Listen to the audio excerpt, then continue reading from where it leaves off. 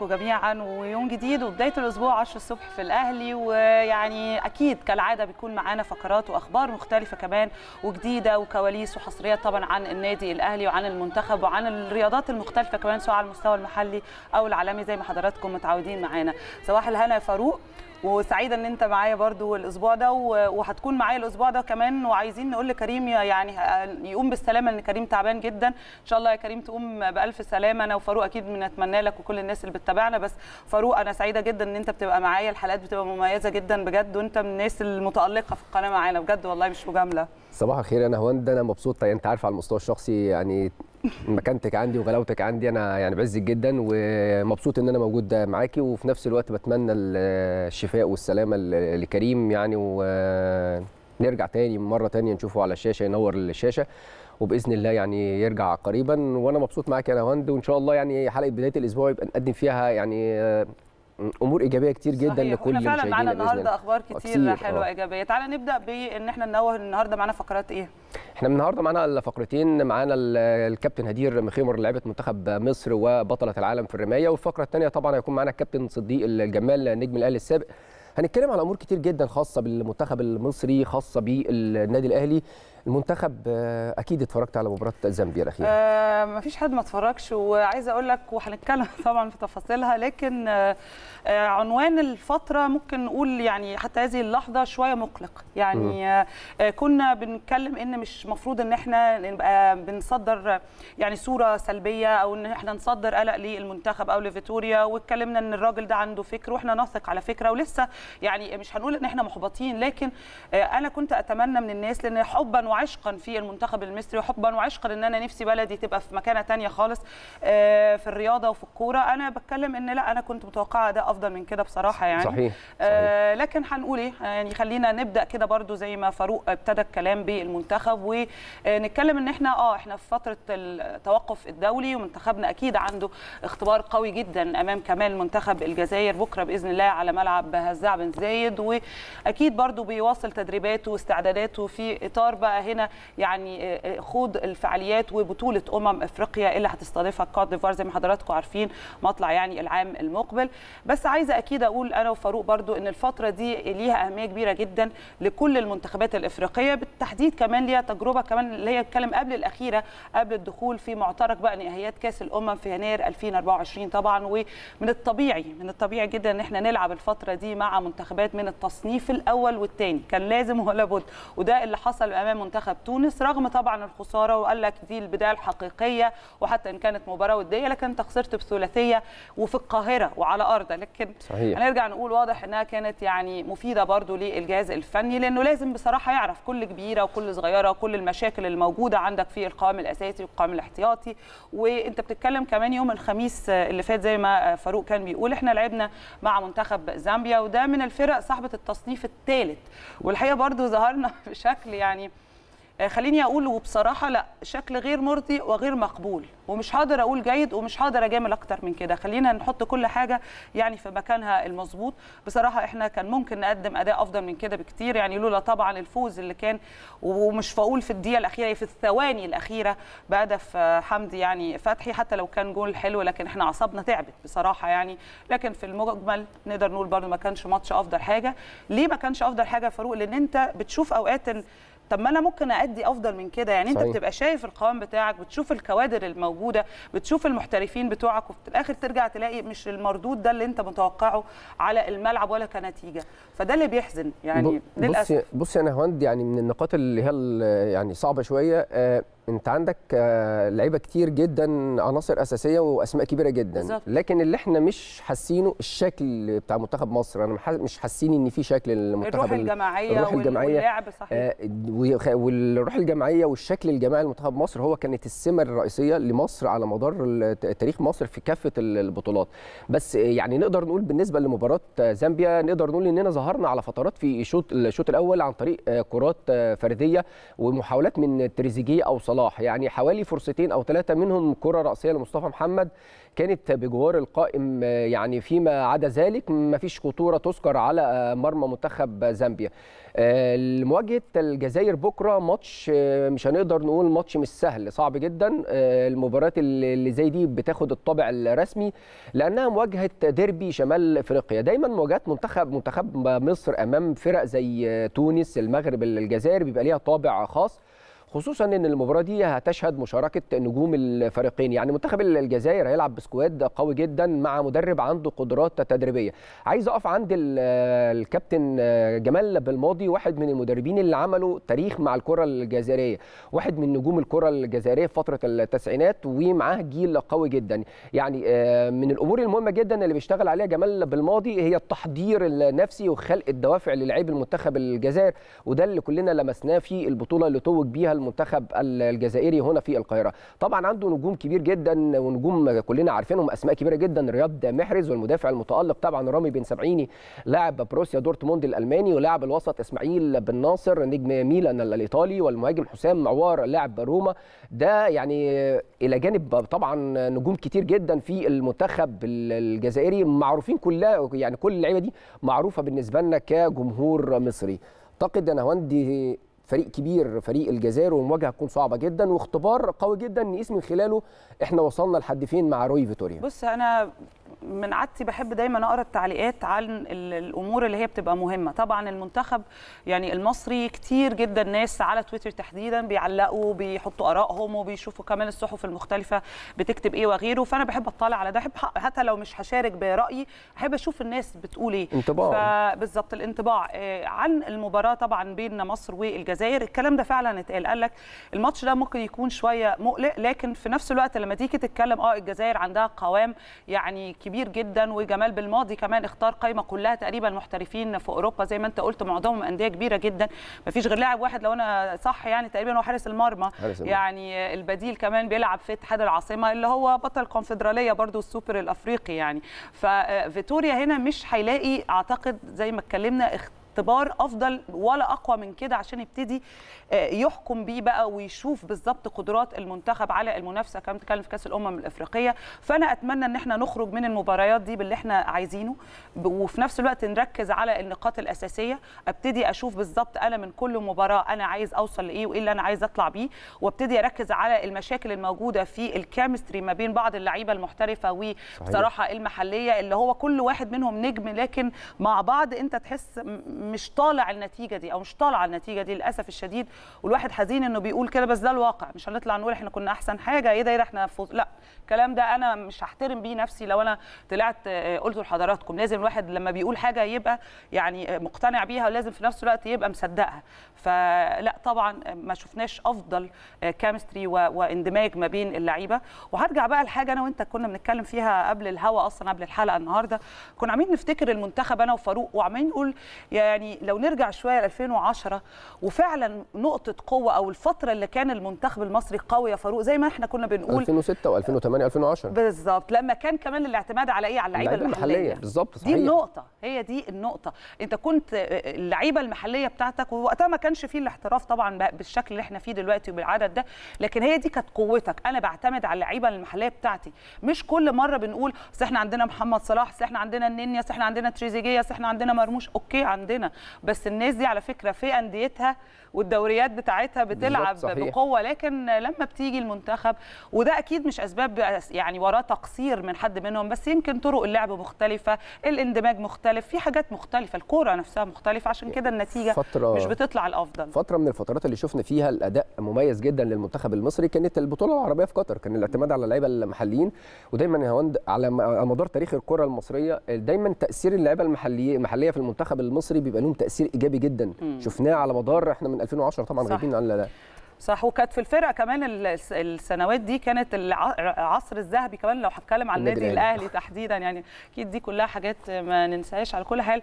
نتمنى الأفضل الفترة القادمة وهنفضل نتمنى مش غلط إن إحنا نتمنى الأفضل يبقى لسه عندنا أمل ويبقى عندنا إيجابية لأن ده اللي لازم نصدره إن إحنا لو ابتدينا نحس إن الموضوع بينتهي ده هيتصدر للمنتخب وإحنا أعتقد ده مش مش سيناريو أفضل تماما إن إحنا نكون بنصدره ليهم يعني فالأمل خليه موجود لكن طبعا على مستوى الفني أو المستوى الفني والأداء لا إحنا منتظرين من المنتخب ومن فيتوريا أفضل صحيح. من ذلك بصراحة وإحنا كلنا في ظهر المنتخب ونتمنى له التوفيق. عايز أروح بقى سريعا ل اتكلم على قرعه كأس الأمم الإفريقية.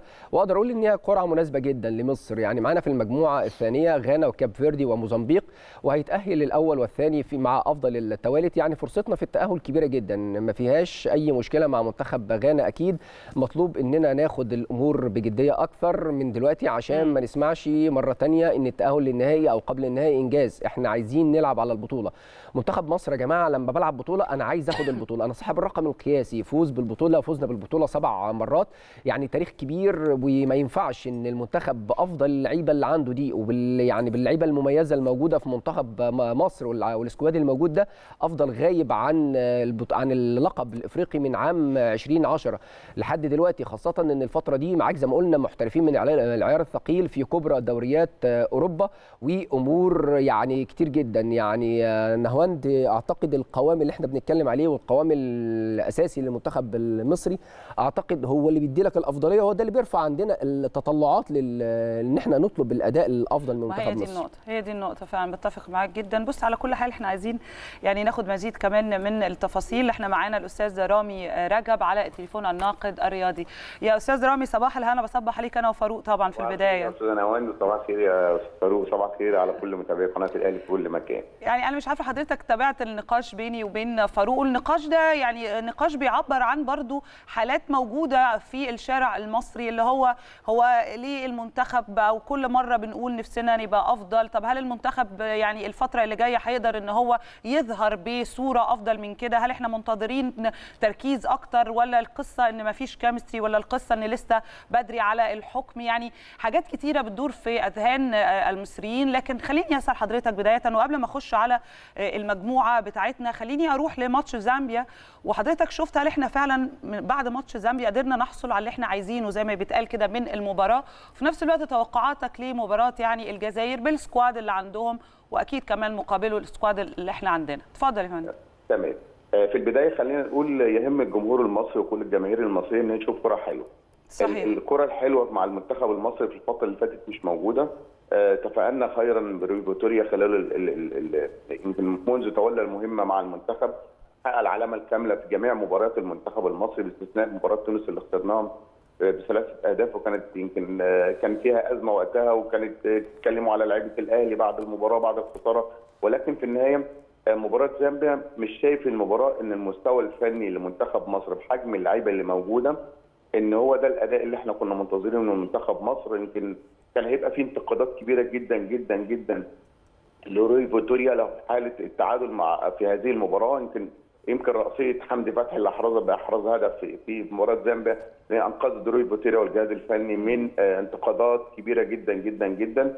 الأداء حتى هذه اللحظة يا أستاذ نواندي يا أستاذ لسه مش الأداء اللي إحنا منتظرينه من منتخب مصر بحجم اللعيبة اللي موجودة فيه بحجم المحترفين بحجم عدد كبير جدا من المحترفين اللي موجودين في منتخب مصر. اسم منتخب مصر كبير جدا. هدفنا الأول والأخير هو الحصول على بطولة الأمم الأفريقية. هدفنا الأول والأخير هو الوصول لكأس العالم.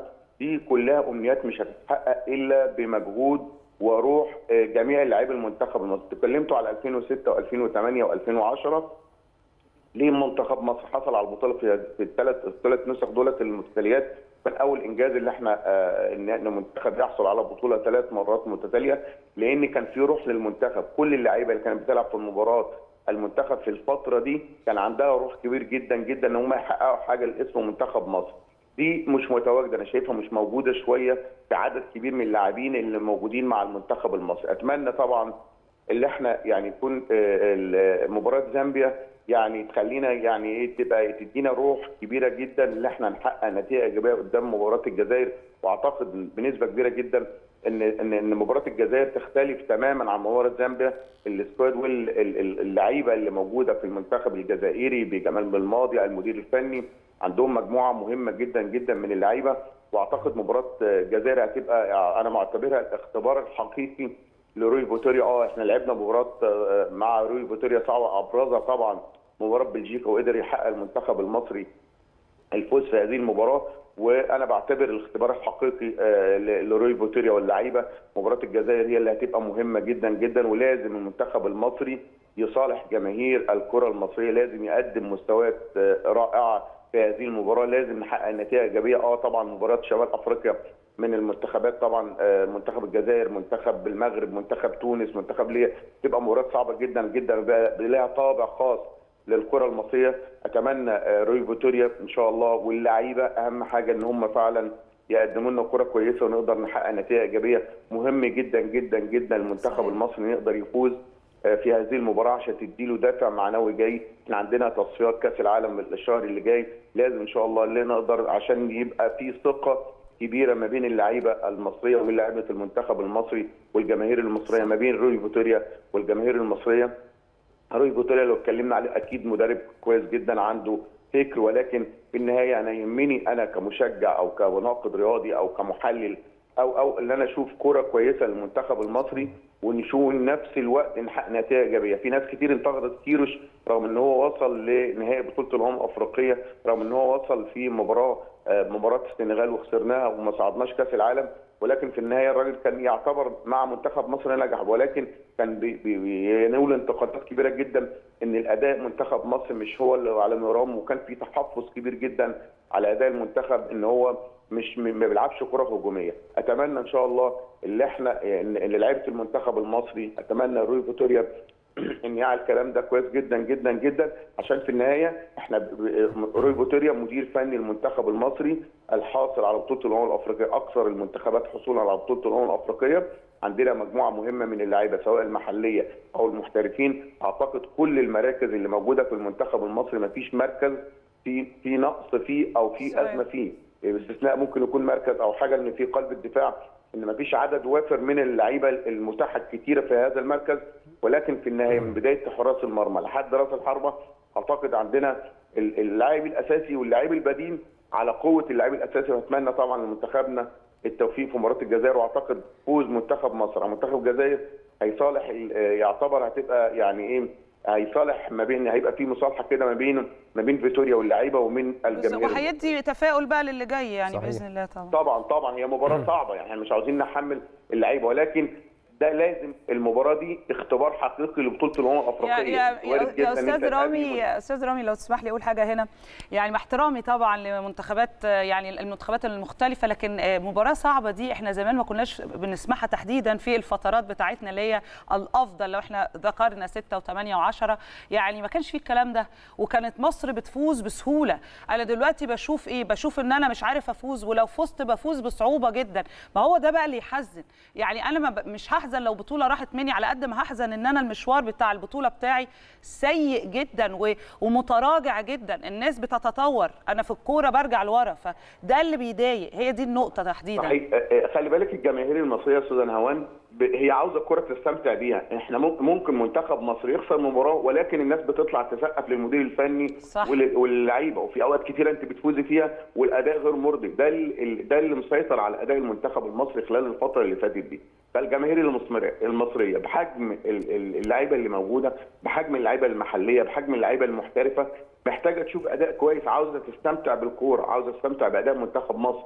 وده ده ده أقل حاجة إن المجموعة أو المجموعة اللي موجودة زي ما بقول لك كده يا أستاذة نوال اللي المجموعه اللي موجودة لا آه، بنتكلم على مجموعة مهمة جدا جدا في المنتخب المصري وعندنا دكة البدلاء دلوقتي حتى في المنتخب بقت قوية. خلينا نقول انت ساعات ممكن في بعض المراكز دلوقتي مش عارفة مين اللي هيبدأ ومش مين اللي هيبدأ. آه في في عناصر أساسية محافظة على على, وجودها في المنتخب المصري ولكن في مراكز كتيرة جدا. طب هيلعب بالناحية دي بمين؟ وهيلعب من آه في خمس ست لعيبة حافظين على يعني على القوام الأساسي للمنتخب المصري. وده بيأكد إن إحنا عندنا مجموعة من اللعيبة. ده كله ما يهمناش بقدر ان فعلا اللعيبه دي تنزل أرض الملعب تقدم لنا الأداء المنتظر صح. وتقدم لنا النتيجة دي إحنا ممكن نخسر من الجزائر ولكن إحنا ممكن كلنا نسقف لمنتخب مصر عمل اللي عليه آه آه لعب بطريقة هجومية أضاع أكتر من فرصة وفي نفس الوقت أنت ممكن فزت على منتخب زامبيا وفزنا ولكن الأداء الناس مش راضية. عن أداء المنتخب. المصري لابد إن يكون أداء منتخب مصر في كل المباريات سواء كانت ودية أو رسمية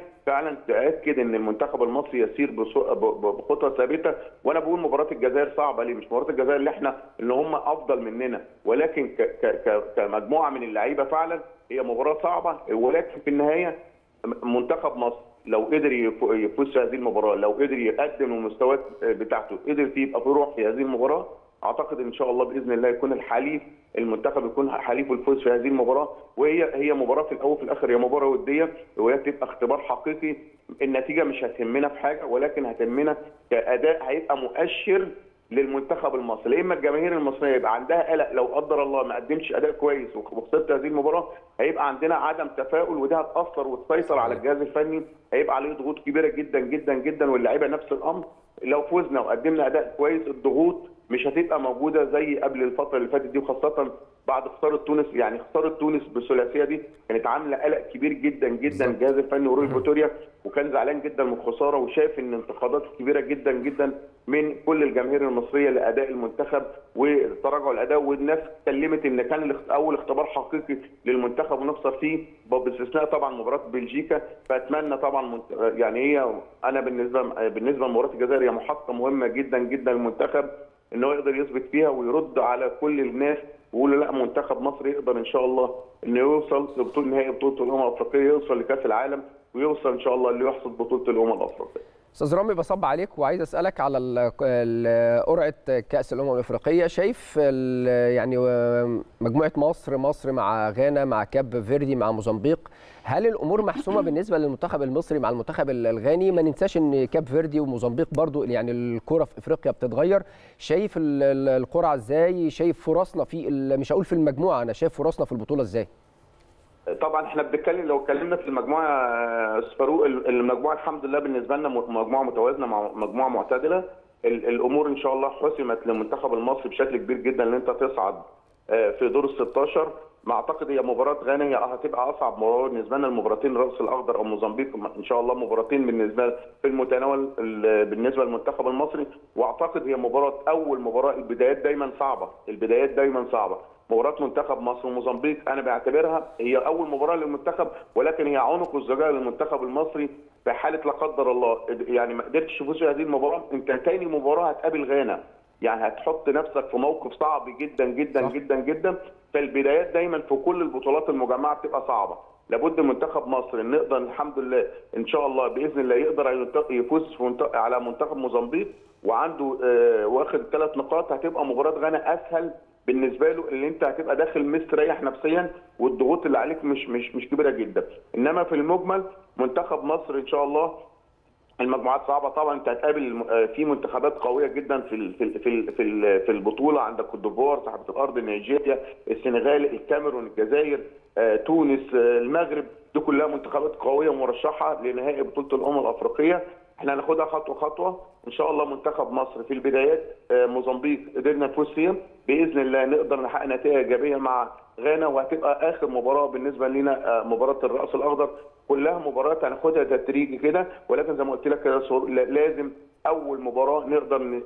يعني المباراة الأولانية كمان بيبقى انطباع خاص حتى لجميع المنتخبات. تقدر تفوز بنتيجة إيجابية وبنتيجة عالية على منتخب موزمبيق. ده هيريحك وهتدي خوف وهتدي مؤشر لجميع المنتخبات إن منتخب مصر قوي. فبالتالي البداية بالنسبة لنا منتخب مصر بداية تبقى مهمة جدا جدا جدا. وأعتقد إن شاء الله بإذن الله يعني آه، آه، أتمنى آه، لمنتخبنا. إحنا وصلنا للنهائي البطولة اللي فاتت وخسرنا من السنغال. أتمنى لمنتخبنا إن شاء الله إنه يوصل وناخدها خطوة خطوة. وبإذن الله ولابد إن أنت في ال- في البداية تحط هدف في ريو إن يصعد أول مجموعة. صعودك تاني أو ثالث لا قدر الله أو اختيارك من أحسن التوالي ده هيديك يعني هي- هي- هيخليك تقابل في منتخبات قوية وهتبقى فرصتك صعبة إن أنت تكمل مشوار في بطولة تمام. كل التوفيق إن شاء الله للمنتخب. ده تحليل أكثر من رائع. بنشكرك عليه الناقد الرياضي رامي رجب. شكرا ليك جدا يا أستاذ رامي على هذه التغطية يعني. بالمناسبة نهاوند آه، انت مشوار البداية عندك هيكون أمام منتخب موزمبيق. انت يعني كمؤشر حقيقي بقى آه طبعا. كمؤشر. حقيقي. آه، فال برضه كويس لكل جماهيرنا إن أنت بدايتك في بطولة 98 البطولة اللي يعني كانت المدير الفني رحمة الله عليه الكابتن محمود الجواري آه، كان بداية مشوارنا مع موزمبيق وانت كسبت المباراة الأولى 2-0 كان هدفين آه، لحسام حسن. فيعني نتمنى إن المشوار تبقى بدايته موزمبيق والآخر ناخد البطولة بإذن الله أنا أتمنى أكتر بقى إن يجي اليوم اللي إحنا نرجع تاني للمدير الفني المصري المحلي صحيح. ال ال الاسم اللي أنت قلته ده اسم كبير جدا رحمة الله عليه. كابتن محمود الجوهري آه، ومش بس عشان هو رجل أو مدرب وقبلها لاعب وغيره كان كبير لا هو كان على المستوى الشخصي كمان إنسان جدا صح. جدا الله يرحمه من الشخصيات المحترمة جدا والطيبه جدا واللي عندها الإنسانية كانت كبيرة. وطبعا كمستوى ككرة قدم حضراتكم أكيد يعني الواحد مش هيتكلم كلها حاجات. زي ما بنقول دايما الرجل أو الشخص بيرحل لكن الأعمال والسيرة بتكون أكيد باقية. فأتمنى في يوم من الأيام إن إحنا نشوف نفس المستوى ده. شوف إحنا دايما بنرجع للماضي لما بنكون في مستوى كويس. بنقول يا ريت نرجع لكده. ف دايما يعني بنعتز بأبنائنا. يعني دايما بنعتز بال... يعني بال... بكل ما هو مصري. يعني بنعتز بالكابتن الجوهري بنعتز بالكابتن حسن شحاته ليهم تأثير كبير جدا مع المنتخب صحيح المصري هون. ويا ريت إن شاء الله المدير الفني القادم مع المنتخب يكون مصري. أنا أتمنى إن أنت على فكرة عندك كوادر كتيرة جدا تنفع. يعني ما فيش يعني حتى وإن كان ليك تجربة سابقة بس إحنا مستنيين من فيتوريا. البطولة. إحنا دلوقتي مع فيتوريا. آه، أنا بتكلم بعد. كده. مش لا أكيد مش السنة دي ولا الموسم ده. يعني آه، مش مجال البطولة. طبعا ابدا ابدا إنه يقرر ما حدث يعني آه، قبل كده. لكن لا العام الماضي يعني لكن لا طبعا أنا بتكلم في المستقبل. المستقبل. نتمنى نعيد تاني هذه التجارب اللي هي عندك مدير فني محلي مصري وقدر فعلا يعمل إنجاز. مش بس يبقى اسم مصري أو محلي لا يعمل إنجازات زي ما كان زمان بيحصل إنجازات كبيرة جدا مع يعني أسماء كبيرة مصرية. هننتقل بقى مع حضراتكم أنا وفاروق دلوقتي لفعاليات نظمتها تحديدا لجنة المرأة بالنادي الأهلي وكان طبعا تحت إشراف اللجان العليا زي ما إحنا متعودين. وهي كانت دورة تحت تدريبية تحت عنوان كيف تح- تحمينا نفسك. هنا بيخاطبوا فيها النساء يعني. خلينا نشوف بالظبط إيه الموضوع ده ونرجع نكمل.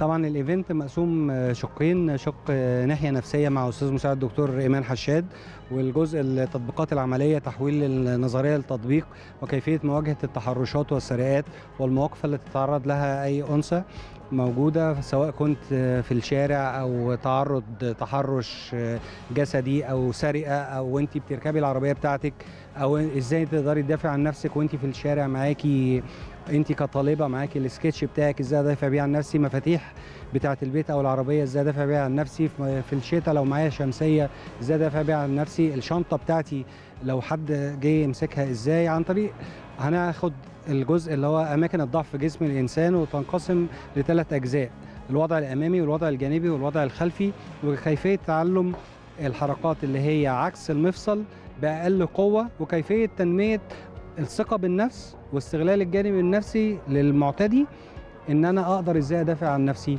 بيه. عنصر المفاجأة اللي حضرتك بتتكلمي عليه دوت إحنا بنسميه عندنا في علم النفس الصدمة. الصدمة دي اللي بتصاب بيها الضحية بقى اللي بيقع عليها الاعتداء ليها طرق كتير. اولا إن إحنا نأهلها إنها ما يحصل لهاش صدمة. إزاي؟ وده هنقوله النهارده في الندوة. الحاجة التانية إذا وقعت فعلا في الصدمة جراء الاعتداء إزاي تتصرف؟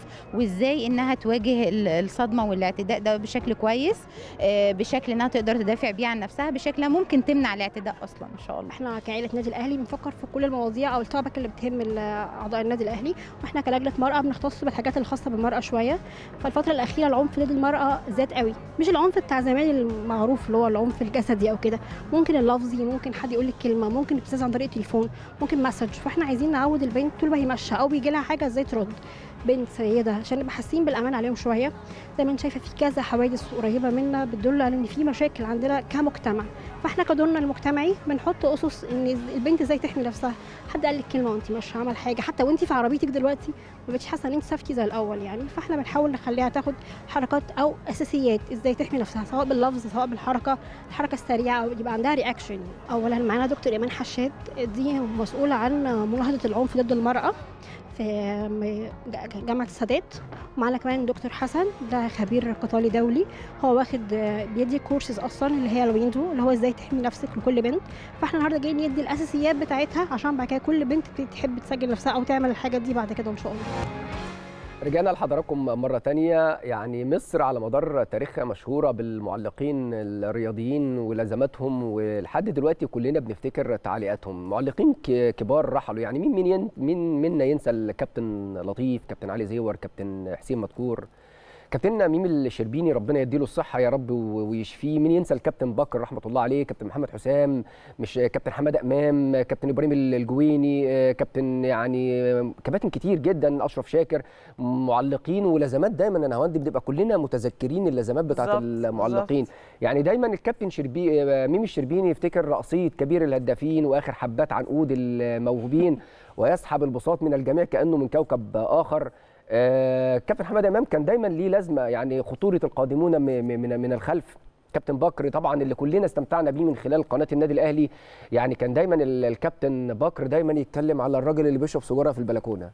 ودايما يتكلم على محطة مصر ودايما يعدل الصورة يا برجاوي. يعني بنعتز طبعا بمعلقينا ال- المعلقين المصريين اللي الجميع كله مر وعدى على مدرسة التعليق ال- المصرية. التقرير اللي معانا دلوقتي هو حفل تكريم المعلقين الرياضيين الحاليين اللي ماشيين بخطى ثابتة في مشوارهم. خلونا نشوف التقرير ونشوف يعني تقريرنا ده ونرجع لحضراتكم مرة ثانية فكرة التكريم دي قلناها في مجلس الإدارة ونفذناها والحمد لله كرمنا النهاردة رموز كابتن ميمي الشربيني الله يشفيه والكابتن حمادة أمام والكابتن رياض شرارة ربنا يرحمهم وي- وي- ويدخلهم فسيح جناته ومعانا الأستاذ فهمي عمر كالخبير التعليق والإعلاميين كلهم اللي إحنا بنسميه الخال عمر فهمي عمر. وبرضو المهندس سمير عزيز عشان ده من معلقي التنس الأرضي.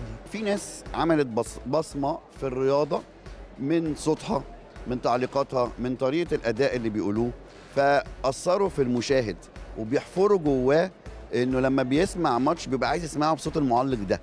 فبيأثر. أو آه، في رياضة مثلا كابتن رياض شرارة من اللي حببنا في ألعاب القوة. إحنا ما بنشوفش ألعاب القوة غير كان في الأولمبياد. بس بنقعد نتفرج لأنه بي بي بيخلينا نستطعم طعم هذه الرياضة ونحبها ونتفرج عليها. ففي رموز في الرياضة كتير. مش هقول أسماء عشان ما انساش حد ولكن في رموز كتيرة في الرياضة يجب تكريمهم.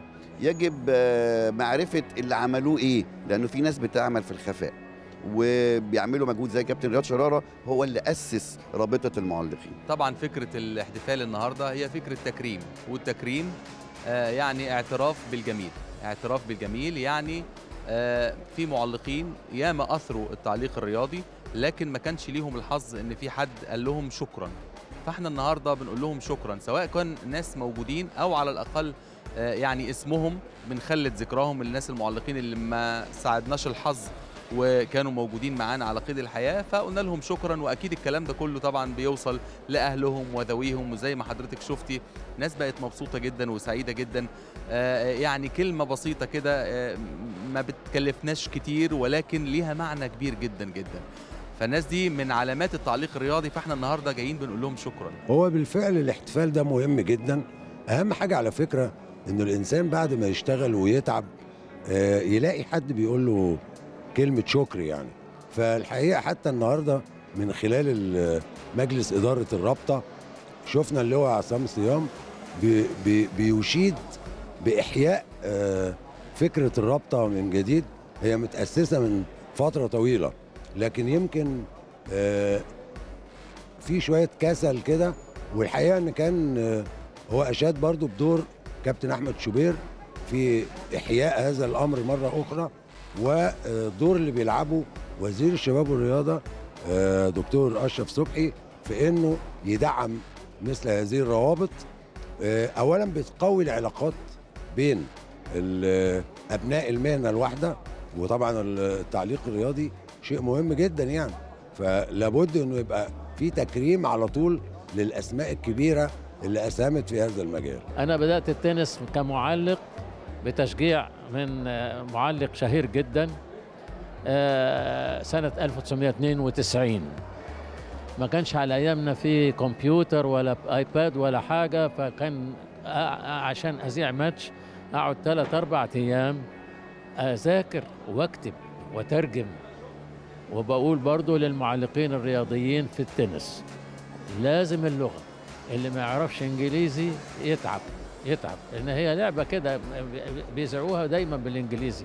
في بعض البلاد زي فرنسا بيقولوها بالفرنساوي وبالانجليزي وفي ألمانيا بيقولوها بالألماني طبعا.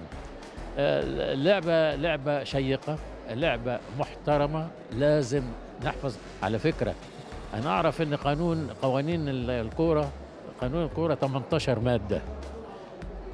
قوانين التنس كتب. كتب. التنس ملوش ميعاد. ملوش ميعاد. الماتش بيبتدي ما تعرفيش يخلص إمتى. في ماتشات قعدت ست ساعات وعشر دقايق. وعلى فكرة وبالمناسبة اللي قدامك ده ذاع مرة آه، للقاهرة من فرنسا.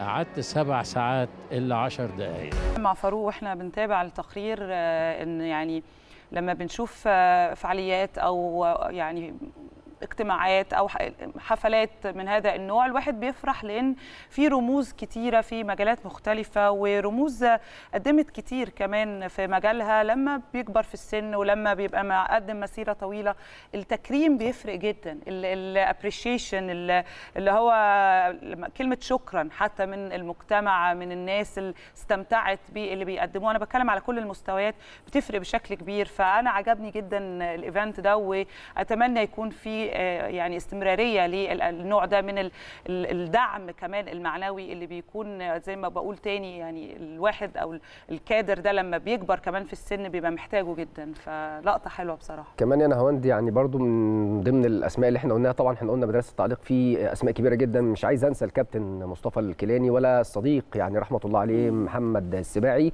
السباعي يعني كان واحد من الأصوات اللي كلنا بنحب نستمتع بيها. يعني أكيد في معلقين كتير مرت على طبعاً. الكرة المصرية لكن دول أسماء طبعا بنعتز بيها. ونهاوند اتكلمت في نقطة مهمة جدا ال- التكريم في حد ذاته إن أنا يبقى عندي المبادرات دي وإن أنا يبقى عندي رابطة رابطة المعلقين. اعتقد ان هوند دايما آه، بيبقى فيها اعتزاز بكل ما هو يعني المنظومة الرياضية كل فرد أخلص للرياضة. المصرية ده مهم جدا آه نتابع بقى الطقس والحرارة نشوف آه، مع حضراتكم كده. آه يعني الأيام. اللي جاية الوضع إزاي بس أنا كنت قريت كان كمان بيان من هيئة الأرصاد يعني إن خلاص درجه الحرارة اللي هي 30 هتودع آه معظم يعني المحافظات يعني هنبدأ دلوقتي نتكلم في العشرين بقى يا آه، إن شاء الله يعني نتمنى أنت بتحب الشتاء برضه طبعاً. مم. خلينا نتابع ونرجع نكمل طيب إحنا تابعنا يعني الدرجات المختلفة لدرجات الحرارة بس أكيد مهم كمان نتعرف على التفاصيل ومعنا على التليفون دكتور منار غانم كالعادة عضو المكتب الإعلامي بالهيئة العامة للأرصاد الجوية. وطبعا بصبح على حضرتك أكيد دكتور منار ببقى سعيدة تكوني معانا كمان تحديدا أول الأسبوع عشان نطمن السادة المتابعين على الأيام القادمة كمان هتشهد إيه. وخليني أعرف يعني برضو إيه الظواهر الجوية اللي رصدتها الهيئة يا فندم؟ اتفضلي. صباح الخير على حضرتك أستاذة نهاوند واستاذ فاروق وكل السادة المشاهدين. يمكن إحنا بالفعل مع بداية هذا الأسبوع من امس تعمق علينا المنخفض الجوي الموجود في طبقات الجو العليا بشكل كبير. فبدأت كميات الأمطار تزيد على المناطق الساحلية المطلة على البحر المتوسط. شهدنا بالأمس أمطار متوسطة على بعض المحافظات الساحلية. واليوم منذ الساعات الأولى من الصباح في أمطار على محافظة الأسكندرية أمطار متوسطة يمكن زادت شدتها كمان عن المتوسطة. وامتدت الأمطار لمناطق من محافظة البحيرة واللي متوقع اليوم استمرار الأمطار المتوسطة على المناطق الساحلية المطلة على البحر المتوسط سواحلنا الشمالية مرورا بمطروح الإسكندرية البحيرة كفر الشيخ الدقهلية كمان سواحلنا الشمالية الشرقية دمياط بورسعيد رفح العريش وبعض المناطق من وسط سيناء. وقد تمتد الأمطار خفيفة لمناطق من جنوب الوجه البحري ومدن القناة. يمكن كمان على مدار هذا الأسبوع كله هيكون في استمرارية لسقوط الأمطار المتفاوتة الشده خاصة على السواحل الشمالية المحافظات المطلة على البحر المتوسط ومحافظات شمال الوجه البحري. يمكن كميات الأمطار هي الأكثر تاثرا هتبقى المناطق الساحلية. بالإضافة كمان كميات درجات الحرارة طبعا بدأنا نلحظ فيها انخفاض طفيف خلال فترات النهار ملحوظ أكثر خلال فترات الليل متأخر فترة الصباح الباكر. اليوم متوقع العظمى على القاهرة الكبرى هتكون 28 درجة مئوية خلال فترة النهار. فبالتالي الطقس فترة النهار هيكون طقس خريفي معتدل تماما على السواحل الشمالية محافظات الوجه البحري القاهرة الكبرى. طقس نقدر نقول مائل للحرارة على شمال الصعيد وجنوب سيناء. هيبقى حر على جنوب الصعيد ده خلال فترات النهار بس أغلب محافظات الجمهورية درجات الحرارة فيها أقل من المعدلات الطبيعية لمثل هذا الوقت من العام.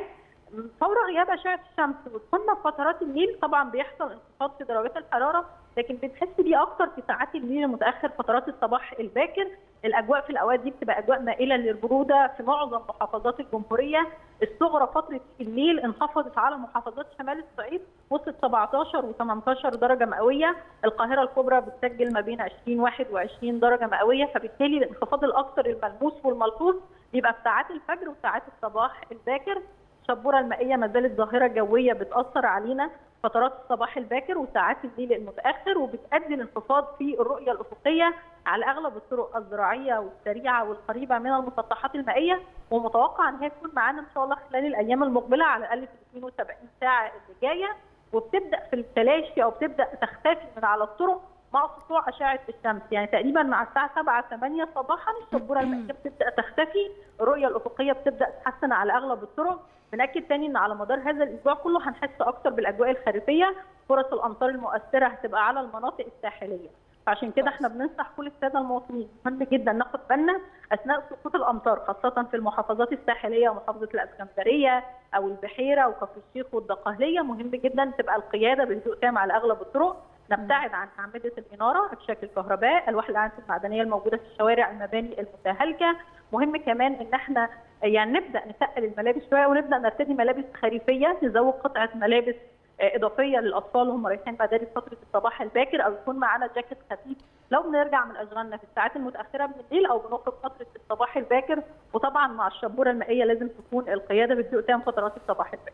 يعني تغطية كالعادة رائعة جدا جدا. أكيد ونشكرك عليها ونتمنى بقى إن الأجواء الخريفية دي تستقر معانا وما يبقاش في ارتفاع تاني في درجات الحرارة. شكرا ليكي دكتور منار. يمكن برضو قبل ما نختم دكتور منار اتكلمت عن عدة أمور مهمة منها إن إحنا يعني نبعد عن أماكن الإنارة اللي هي بيبقى فيها مشاكل الأسلاك الحاجات اللي زي كده. هو إحنا هنبعد عنها بس هي المفروض كمان هي تبعد عننا. يعني المفروض ما تبقاش موجودة أصلا يعني. فقصه كمان الاستعدادات المختلفة في المحافظات المختلفة منها المحافظات اللي زي اسكندرية وغيره اللي بيكون فيها فرص سقوط الأمطار أكبر وأكتر بكتير. نتمنى يكون في استعدادات طبعا وكل محافظة يعني عاملة حسابها في هذه النقطة. أنا أعتقد يمكن السنة اللي فاتت ما شفناش مآسي أو مشاكل زي قبل كده فكويس إن بيبقى في يعني تدارك سريع للأزمات لكن أكيد في الأول وفي الآخر ما حدش عايز يبقى ماشي يتعرض لأي يعني أزمة في الشارع هو ملوش يد فيها. يعني من بسبب إهمال محليات أو بسبب إهمال من المحافظة أو غيره يعني. ده اللي أنا بأمله على كل حال يعني. فاصل؟ فاصل. نروح فاصل ونرجع نكمل مع حضراتكم. رجعنا لحضراتكم مرة تانية وخلونا نروح نتابع آخر أخبار النادي الأهلي وفرقه المختلفة مع يعني مراسلتنا هنا أبو القاسم واحدة من أشطر المراسلين مش هقول في قناة الأهلي اللي أنا بعتز إن أنا واحد منهم ولكن واحدة من أشطر المراسلين في مصر من مقر النادي الأهلي بالجزيرة يا هنا صباح الخير بصب عليكي أنا ونهواند وماذا لديك اليوم؟ يا صباح الخير عليكم وعلى كل مشاهدي قناة الأهلي في كل مكان. يوم جديد و10 الصبح في الأهلي وزي ما عودناكم دايما هنقل لكم كل الأخبار المتعلقة بالنادي الأهلي وفرقه الرياضية المختلفة. خلونا في البداية نبدأ بالفريق الأول لكرة القدم. النهارده الفريق إن شاء الله هيستأنف تدريباته بعد راحة سلبية لمدة خمس أيام. كان منحها طبعا الجهاز الفني بقيادة مستر مارسيل كولر. عشان بقى الفريق يبدأ يستعد للمباراة القادمة واللي هتكون طبعا أمام فريق سيمبا التنزاني ضمن منافسات ربع نهائي الدوري الإفريقي أو دوري سوبر الإفريقي. يعني طبعا بنتمنى كل التوفيق لرجال كرة القدم. مباراة إن شاء الله هتكون يوم 20 أكتوبر. مباراة الذهاب هتكون في تنزانيا ومباراة العودة هتكون يوم 24 هنا في القاهرة. كل التوفيق طبعا لرجال كرة القدم ماشيين بخطى ثابتة جدا في الموسم الجديد. إن شاء الله بقى يستمروا بنفس الأداء ويفوزوا في الذهاب والعودة ب score كبير. كمان بقى خليني أقول لحضراتكم ان إن شاء الله لو فازوا في مباراة ربع النهائي هيواجهوا الفائز من سان داونز أو باترو اتلتيكو كل التوفيق لرجال النادي الأهلي. خلونا بقى نروح لناشئين كرة القدم. والنهارده فريق 2003 إن شاء الله في الناشئين هيكون عندهم مباراة أمام فريق المقاولون العرب. مباراة هتكون الساعة 3 العصر ضمن منافسات بطولة الجمهورية. طبعا بنتمنى لهم كل التوفيق. كمان بقى خلوني أقول لحضراتكم إن ال weekend ده كان حافل بالانتصارات لفرق الناشئين في النادي الأهلي. وخليني أطلع حضراتكم على النتائج بالتفصيل. التفاصيل يعني آه، مواليد 2006 قدروا يحققوا فوز على فريق كهرباء الشمال بنتيجة 4-0 ضمن منافسات منطقة القاهرة. كمان مواليد 2005 قدروا يحققوا فوز على فريق آه، وادي دجلة بنتيجة 2-1 ضمن منافسات بطولة الجمهورية. أيضا فريق 2009 حقق فوز على فريق سيراميكا كليوباترا بنتيجة 2-1 ضمن منافسات بطولة الجمهورية. وأخيرا فريق 2008 قدر يحقق فوز على فريق الجونة بركلات الترجيح بعد التعادل في المباراة 1-1 ضمن منافسات بطولة الجمهورية أيضا. يعني زي ما قلت سلسلة من الانتصارات. الحقيقة آه، فرق ناشئين النادي الأهلي ماشيين بخطى ثابتة جدا في البطولات هذا الموسم. طبعا بنتمنى لهم كل التوفيق وإن شاء الله بقى جميع الفرق الرياضية يتوجوا بالبطولات.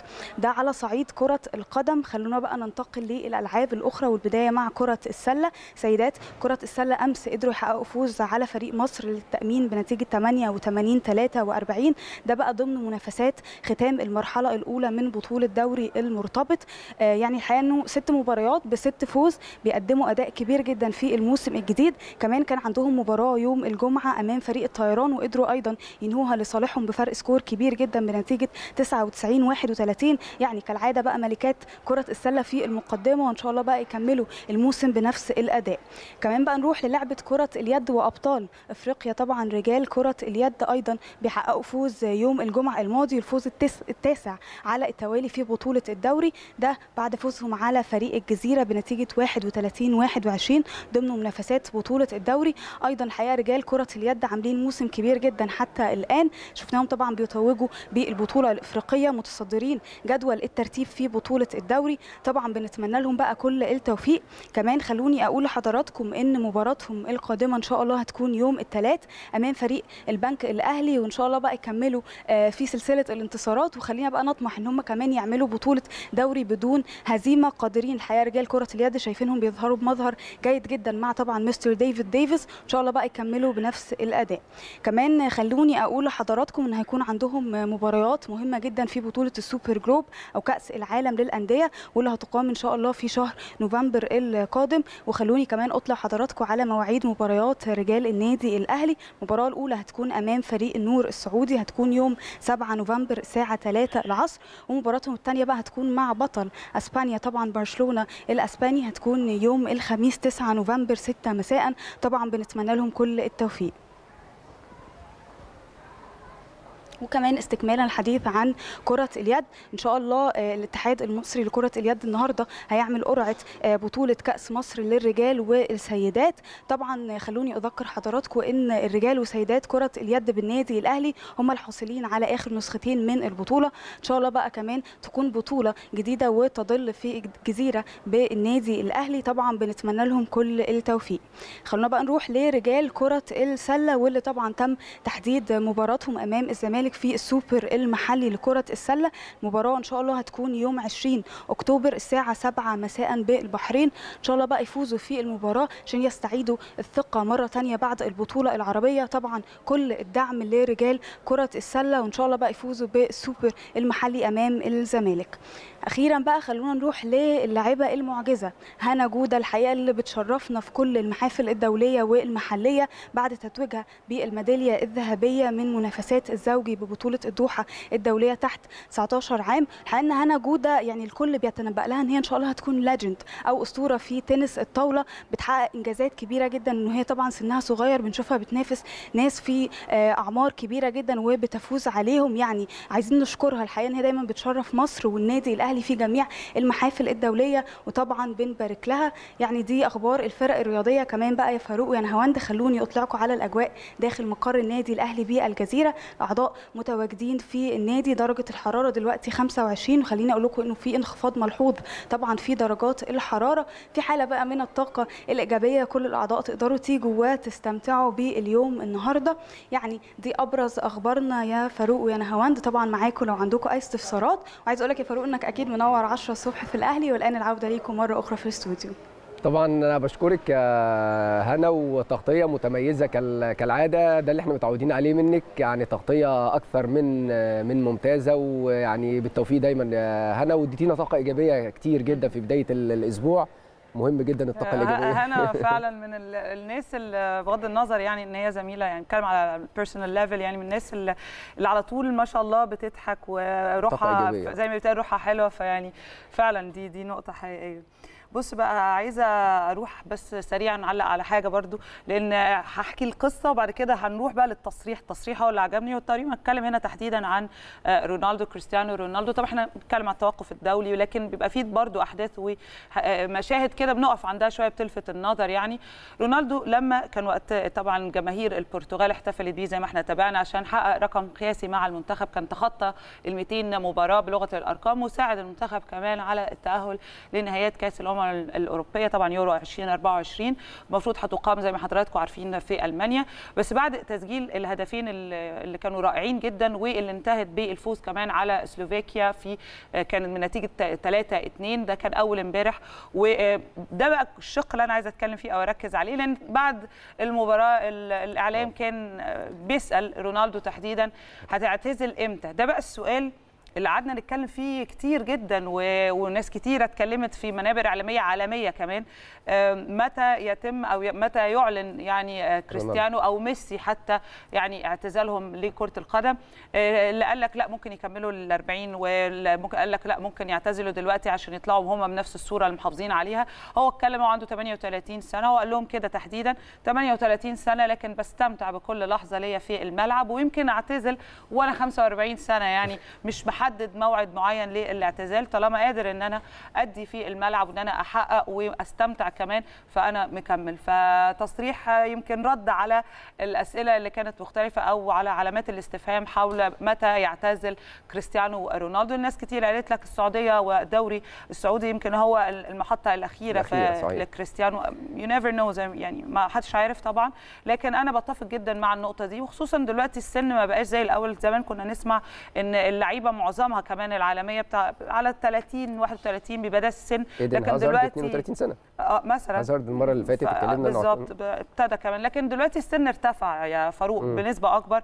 يعني لما نيجي نتكلم عن أمثلة في أمثلة كتيرة. لكن حد مثال بإبراهيموفيتش دلوقتي داخل تقريبا في 43 أو 42 43 حاجة. كده. فيعني برضه ولا ومش بس سن يعني يعتبر غريب شوية للاعب لكن أداء هو لسه جيد. العطاء كمان في الملعب. و- ولعبه أو أداؤه يا يا فاروق ما تقدرش تقول إن هو مش أفضل مثلا من ناس ممكن يكونوا لعيبة 30 بس الفوارق الفنية موجودة. هو يمكن الأفضل لو قارنته ببعض اللعيبة اللي في سن أصغر ب 10 سنين مثلا. فقصة فعلا ملهاش علاقة قوي حاليا في كرة القدم بالسن ليها علاقة بالكفاءة والمهارة اللي هي بتكون مستمرة. خلينا نكون متفقين إن إحنا آه، محظوظين إن إحنا في وقت وزمن اتفرجنا فيه على كريستيانو رونالدو وعلى ليونيل ميسي. يعني أعتقد الجيل ده محظوظ إن هو شاف ال- وغيرهم و- أو- ولسه لسه في يعني لا أنا أعتقد يعني خلال الفترة القادمة مش هيتجمع اتنين بنفس الكفاءة وبنفس الندية والمهارة اللي إحنا شفناها من أنا أقول. هالاند أنا أقول هالاند وده مش عشان آه، ال- ال- ال- البروباجندا اللي اتعملت عليه تحديدا الموسم اللي فات والأداء اللي كان مختلف لا أنا بقول هالاند لأن بالأرقام أعتقد قدامه هالاند لسه 22 سنة بس لما تتكلم في 10 سنين كمان مش بس آه، لما يوصل لسن كريستيانو قبل كمان لما يوصل 10 سنين كمان بتهيألي الأرقام مش تبقى بعيدة قوي يا صعب يحقق اللي حققه رونالدو أنت بتقول دلوقتي صعب بس ما تعرفش يعني كريستيانو.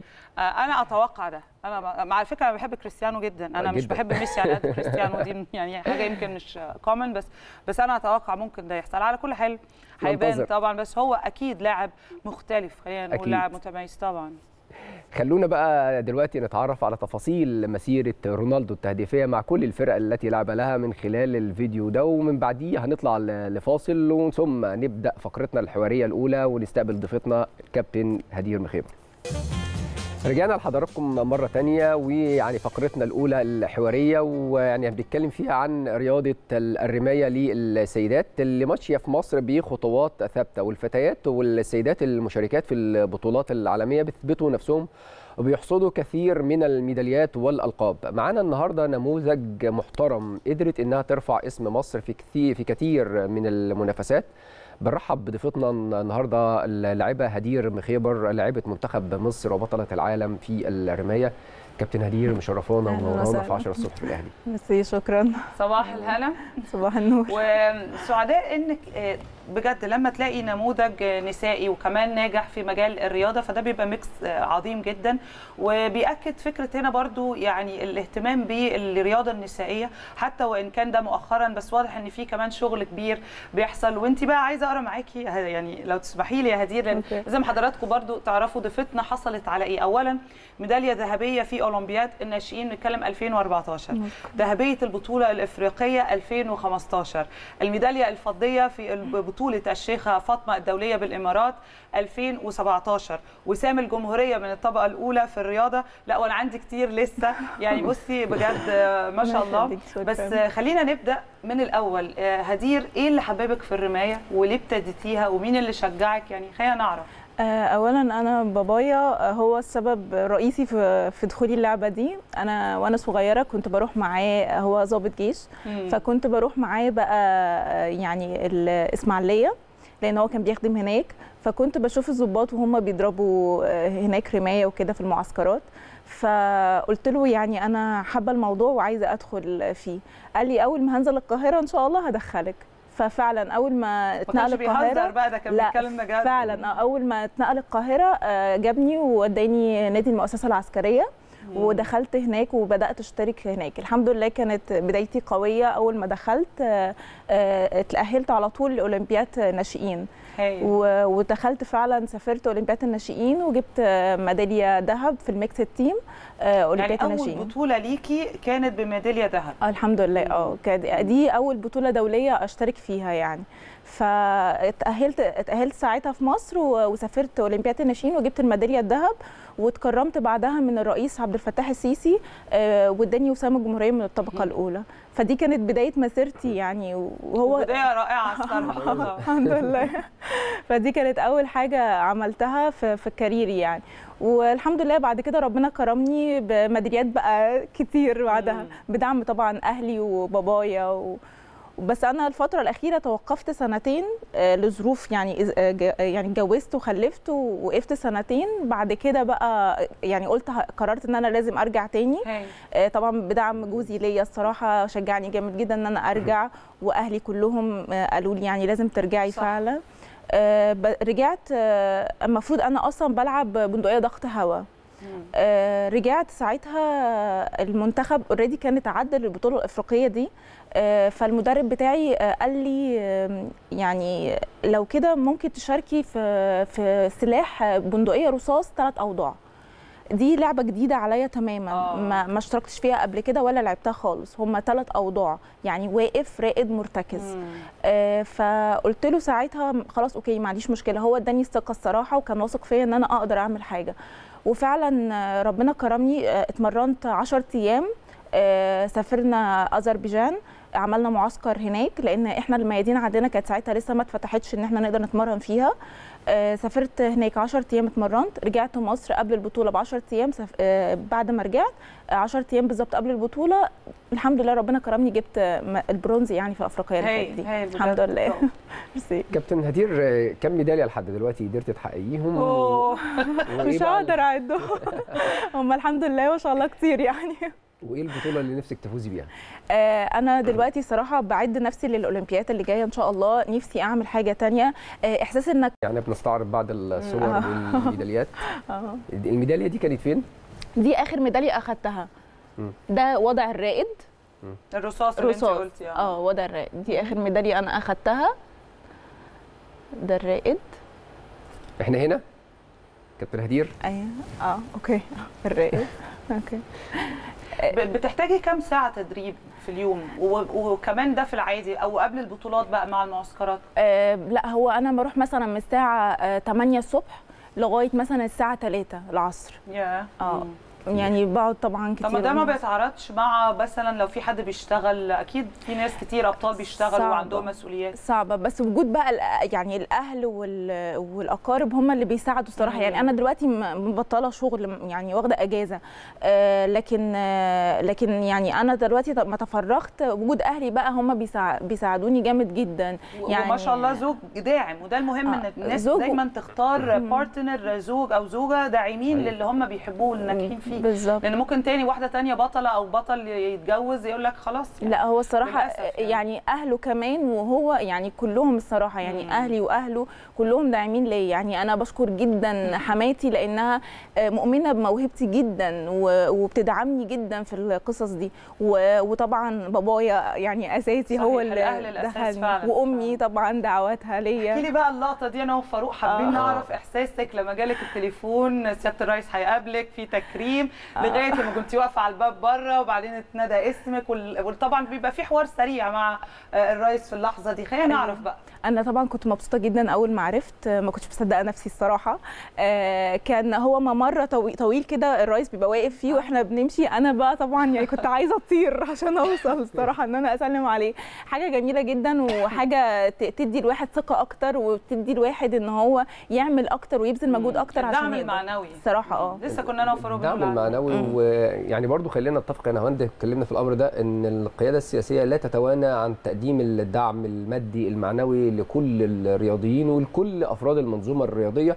وده بيبان مردوده في سرعة تقديم الدعم وسرعة الاستجابة يعني التكريم بيبقى في وقته دايما مم. بنقول يعني التكريم بيبقى في وقته وفعلا هو آه، الو- الوزير كرمنا برضو بعد الميدالية اللي أنا جبتها دي على طول آه، استدعانا في العاصمة وكرمنا وادانا شهادة تقدير فحاجة كويسة جدا الواحد كويس. انبسط جدا إن في حد بيدعمه هو الصراحة الوزير عامل شغل جامد جدا جدا الفترة اللي فاتت دي آه، هو. بصي إحنا اتكلمنا يعني في حلقات مختلفة عن الاتحادات كلها ووضع الرياضة المصرية. في اتحادات يمكن اتحاد الرماية من الاتحادات ال- شغل الاتحادات واخدة حقها لكن آه، اللي حاصلة على نصيب إلى حد ما لأن أنتوا واصلين برضو بالنتائج ل آه، الحمد يعني. رانكينجز محترمة. فبيبقى في نصيب أكبر شوية من الرعاية المادية وغيره. لكن في بعض الاتحادات التانية اللي محتاجة لسه آه، يعني اهتمام أكتر. ودعم أكبر. بس بالنسبة للرماية تحديدا لو هنرجع يعني هل المعسكرات بتبقى كفرد من الاتحاد نفسه؟ في الدعم الكافي بيكون من وزارة الشباب والرياضة؟ يعني خلينا نعرف برضو الأجواء مظبوط. طبعا حتى لو هدير بطله وواصلة لمستوى كبير بس مثلا مستوى مادي آه، معقول أو جيد في غيرنا أبطال تانية مستواهم المادي وده لا يقلل منهم لكن غي- غير جيد يعني. فالوضع بيكون إزاي برضو؟ لا هو الصراحة بيبقى في دعم في معسكرات. أنا زي ما قلت لحضرتك إحنا سافرنا قبل البطولة الأفريقية 10 أيام عشان نقدر إن إحنا نتمرن على الميادين ونضرب رصاص حي لأن الميدان ساعتها عندنا بتاع العاصمة كان مقفول ما كانش ينفع إن إحنا نتمرن فيه في الوقت ده. آه، وسفرونا فعلا وعملوا لنا معسكر. ودلوقتي في في خطة إعداد بتتم إن إحنا آه، عشان الأولمبياد لازم هنسافر معسكرات تدريبية آه، لازم خارجية ولا هنا؟ خارجية وداخلية. الاثنين لازم. واوريدي أصلا الكلام ده تم في البطولات اللي اللي فاتت اللي أنا حققتها كان في معسكرات وفي سفر كتير جدا لينا آه، تدريبي ومع مدربين أجانب كمان يعني إحنا آه. عملنا معسكرات تدريبية مع مدربين أجانب فلا هو الصراحة ال- الوزير ورئيس الاتحاد بتاعنا عامل شغل كويس. جدا معانا يعني. آه الحمد لله كابتن هدير آه، وقت التدريب والمشاركة في البطولات هل بيتعارض مع البيت مع الشغل؟ وإزاي بتوازني ما بين الحياة الشخصية الحياة العملية الرياضة؟ أعتقد بتبقى معادلة صعبة جدا. هي صعبة جدا جدا ومجهدة جدا بس آه، يعني طول ما الواحد بيحقق بيبقى بيبقى عنده طاقة أكتر. آه، طبعا الموضوع يعني مش بيبقى سهل لوحدي. يعني أنا ما أقدرش أوازن لوحدي. آه، وجود آه، زوج آه، بيدعم آه، مؤمن بموهبة أسرة بتؤمن بموهبة هي دي اللي بت- بتساعد إن أنا أقدر أكمل وأقدر إن أنا أحقق ميداليات أكتر. آه، فهم آه، يعني أنا وجودي لوحدي مش كافي. هم وجودهم معايا أساسي ودعمهم ليا أساسي.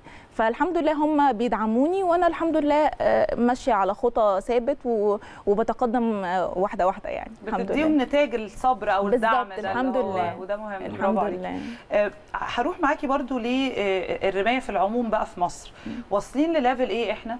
وإيه الدول اللي سبقانا بكتير؟ وعايزه أعرف برضو الفترة اللي جاية إن شاء الله بعد الأولمبياد هل في خطة عن تطوير ال- الرماية واللعبة دي وانتشارها بشكل أكبر مثلا. يعني خطة الاتحاد لو عندك برضو فكرة إيه اللي هيحصل الفترة اللي جاية بعد الأولمبياد طبعا؟ آه، هو المفروض ان إن إحنا دلوقتي بنعمل معسكرات. هيبقى في المدرب بيحط خطة تدريبية إن هو مثلا من الفترة الفلانية للفترة الفلانية دي هيتم معسكر في في ال- في المكان ده. كويس. آه، في سفريات كأس عالم هنلعبها هندخل مسابقات. دي كلها بتدينا قوة أكتر بحيث إن إحنا نقدر ننافس أكتر آه، ويبقى عندنا تطلع للعالم الخارجي ال- زي مثلا ال- الدول المتقدمة في ال- في اللعبة فبنحاول إن إحنا ناخد منها ونحاول إن إحنا آه، نبقى زيها يعني. إيه أكتر الدول المتقدمة؟ والله هو في في كتير يعني في الهند جامدة جدا في الرماية. الهند؟ آه جامدة جدا في الرماية وعاملين شغل عالي كمان في الايكويبمنت بتاعتهم أصلا. يعني هم البدل اللي إحنا بنلبسها آه، شركة اسمها كابابي هي آه، يعني رقم واحد دلوقتي في في صناعة في الصناعة. آه، فلا هم الهند شغ- شغالة كويس جدا. ألمانيا طبعا ال- ال- الأسلحة كلها ألمانية من من ألمانيا. آه، في الصراحه دول كتير جدا إيطاليا. آه، فلا يعني طب إحنا ترتيبنا. كام أو تصنيفنا؟ إحنا إحنا دلوقتي بدأنا إن إحنا ننافس آه، بقوة. آه، مش هقدر أقول ترتيب محدد بس إحنا يعني يعني اشتركنا في كذا بطولة وعملنا كذا حاجة. آه، مش دايما شرط إن انت تدخلي تجيبي ميدالية في كل كأس عالم. مفيش بطل عالم كل مرة بيدخل بيجيب يعني ميدالية. آه، بيبقى باختلاف. في كل بطولة بيبقى في واحد تاني بيظهر آه، في دولة تانية بتظهر. فهو الصراحة في كتير. يعني في دول كتير آه، جامدة في اللعبة. OK. بس كويس إن إحنا promising إحنا يعني. الحمد لله. آه وعزمي مثلا محيلبة آه طبعا. عامل شغل. جامد جدا.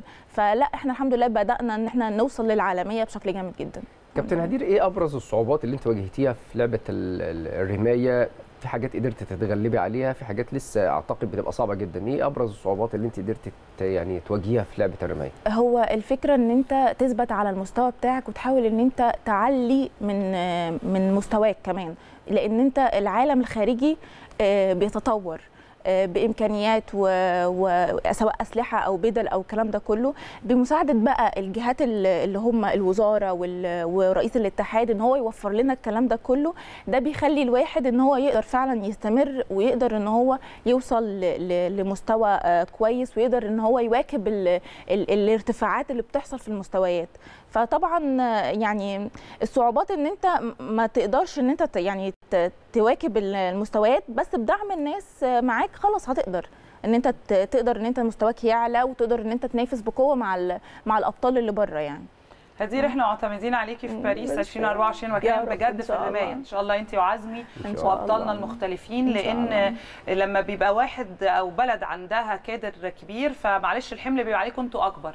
فكل التوفيق شكراً آه، إن جداً. شاء الله ويبقى لينا لقاء أنا وفاروق أنا وكريم قناة الأهلي. آه، آه، معانا إن شاء الله لما تعودي من بإذن الله أولمبياد معاكي ميدالية حتى لو مش ذهبية بس يعني اتليست تكون ميدالية إن إن شاء الله شاء الله. بإذن الله نورتينا جدا شكراً شكرا ليكي. شكرا جدا ميرسي نروح فاصل؟ نروح فاصل. يلا بينا. ونرجع نكمل مع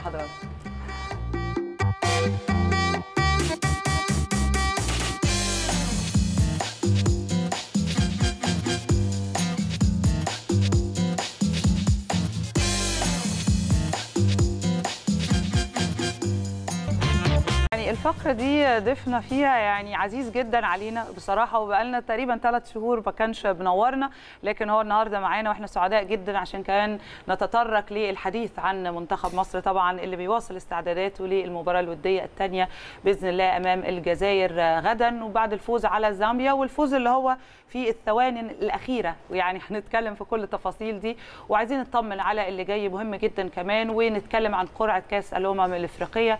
كل ده مع ضيفنا العزيز كابتن صديق الجمال نجم الأهلي السابق. صباح الهنا. صباح الخير يا نورنا. والله بجد. إزاي صحتك؟ كله كويس. حضرتك كله. حلو؟ الحمد لله تمام. الحمد لله. الحمد صباح الخير يا كابتن. فاروق. وسعيد جدا اني متواجد معاكم صباح الخير يا كابتن. وحشتنا يعني بقالنا كتير طبعا ما شفناش حضرتك. آه سريعا هنتكلم على المنتخب. يعني أكيد تابعت مباراة منتخب زامبيا. تقييمك لل- للمباراة؟ من من النواحي الفنية الشكل اللي شفت عليه شكل المنتخب مصر وأيضا رؤيتك لمباراة الجزائر أعتقد هتبقى بروفة قوية جدا للمنتخب المصري. وبداية طبعا المباراتين مهمين جدا في مسيرة المنتخب لأن إحنا عندنا استحقاقات قريبة جدا آه، سواء امم الأفريقية أو سواء تصفيات كأس العالم. أنا شايف ال- المباراة دي كان الاستعداد أقوى من مباراة تونس بحيث إن كان في آه، معسكر كويس في دولة الإمارات. المحترفين كلهم كانوا موجودين. آه، التجربة مفيدة جدا جدا للمدرب قبل اللعيبة عشان في بعض النقاط وبعض الحاجات اللي هو بيقف عليها لأن هو عنده مباريات قوية جدا الفترة اللي جاية. فريق زامبيا المجموعة بتاعتنا فيها آه، مجموعه القاره السمراء فيها فرق من أفريقيا ما فيهاش مثلا حد من شمال أفريقيا. فالتجربة كانت مع زامبيا كانت يعني كويسة جدا جدا وفيها فايدة للمنتخب مم. كاحتكاك وط- وطريقة لعب وكأداء اللعيبة لأن أنت تقابل ال- الأفارقة غير ما تقابل شمال أفريقيا. اليوم عندهم قوة عندهم سرعة أكتر وفي التحامات. فبرضو ال- ال- هتبقى النتيجة الإيجابية من المباراة دي في صالح منتخب مصر. المباراة كان الشوط الأولاني كان برضو إيه ضعيف جدا. لأن بالنسبة لنص الملعب زي ما حضرتك عارف كان ما كانش في حد بيكمل مع الثلاثه اللي قدام. لما يكون في حد زي مثلا لو إمام موجود آه لو لو زيزو لعب في الحتة دي عنده سرعة الحركة لأن الناس اللي فوق دي مظلومة. إن أنت تبقى ما فيش آه، آه، ترابط في الخطوط بينهم وبين الناس اللي تحت فما فيش حد بيغذيهم ما فيش شغل كتير. فبالتالي الشوط كان سلبي شوية. الشوط الثاني لما حصل تغييرات مش بقلل من الناس اللي موجودة. طبعا النني بقى له فترة كبيرة ما لعبش وبرده تجربة كويسة ليه إن هو احتك والمدرب اطمن عليه. بس أنت المباراة دي بتفرق برده في النتيجة. النتيجة عامل أساسي بالنسبة للعيبة والمعنويات وبالنسبة للمدرب. ما ينفعش أنت إيه تلعب ماتش أو ماتشين وتتغلب. دي بتعمل إحباط للمنتخب. مم. وبعدين أنا أنا عايز أشوف المنتخب يبقى ليه شخصية. شخصية المنتخب بتيجي مع تجانس مع مباريات كتير ودية تجمعات تجمع زي ما قلت لحضرتك بيفرق مع المدرب.